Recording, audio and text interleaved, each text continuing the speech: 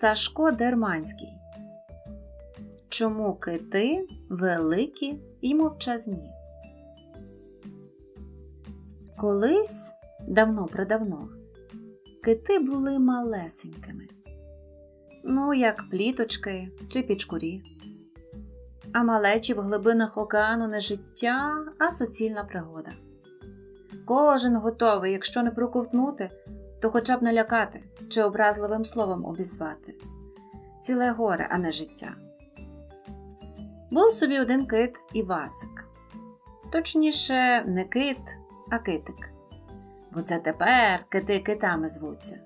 А раніше китиками. Малі були. Так от, жилося Івасикові, самі розумієте, не солодко. Прямо скажемо, поганенько жилося. Хіба один раз доводилося бідоласі від гострих зубів рятуватися, в останню мить із хижих пащ вискакувати. Хіба не мріяв китик після кожної подібної пригоди стати великим превеликим, як кораблі, що часом пропливали у нього над головою? Ще як мріяв. Але що ті мріє? Вода з бульбашками, не більше.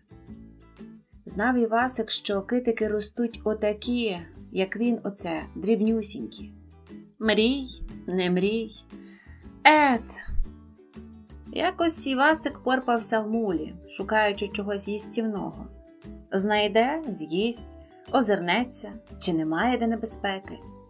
Бо й мурен, і акул, і восьминогів скрізь хоч греблю гати. Не встигнеш і хвостом махнути, як хтось проковтне. Отож і Васик і пильнував. Знайде, з'їсть, озирнеться.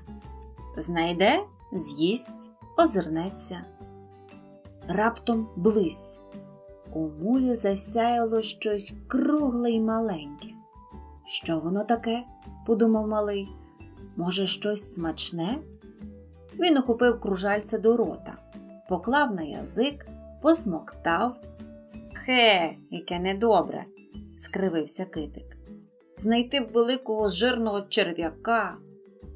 Китик виплюнув красиву, але непотрібну знахідку і одразу ж побачив у себе перед носом великого черв'яка. Яка удача! вигукнув Івасик і миттю проковтнув поживу. Оце то пощастило. А може, не пощастило, а. Він перевів погляд на блискуче кружальце, яке вмить заграло різними, досі небаченими барвами, і подумав: А ця штука часом не виконує бажань. Перевірю. Китик знову схопив свою знахідку і поклав на язик. Що ж його задумати? Від хвилювання Івасик ніяк не міг вигадати чогось путнього. Може, а може, ні, краще нехай та ну мене, розсердився сам на себе малий. Хочу ще одного жирного черв'яка, з пересердя випалив він і завмер. Якусь мить нібито нічого й не трапилося. Івасик навіть устиг розчаровано видихнути, аж раптом. Що це? Простісінько під ним із піску висунулась голова жирнючого черва. Ура! зрадів Івасик, очам своїм не вірячи. Ура! Є, виконує бажання! Івасик так репетував, що на нього почали зглядатися підводні мешканці, які були неподалік. Івасик сховався за камінчик подалі від чужих очей і зосередився на наступному бажанні. Ну, цього разу, пошепки міркував він, я загадаю щось особливе, щось непросте загадаю. От тільки що. Китик хоч і не так хвилювався, як минулого разу, але знову не міг вигадати, чого ж йому зараз куртить понад усе. Хто зна, скільки він отак думав би, якби раптом не помітив над собою великої страшної тіні. Він глянув угору і побачив жахливу пащу хижої рибини, усіяну гострими пригострими зубами. Кровожерна велетка мчала просто на китика. Втікати було нікуди. Змагатися в швидкості з величезною рибиною мисливцем Івасик ніяк не сподівався.